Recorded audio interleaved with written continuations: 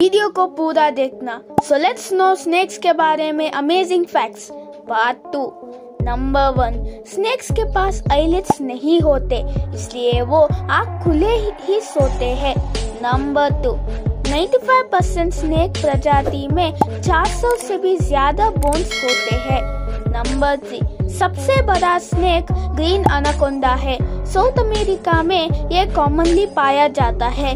Number four Green anaconda in average length 4 meters और breadth 1.5 meters है number five इस fact को आप जानकर आश्चर्य होगे।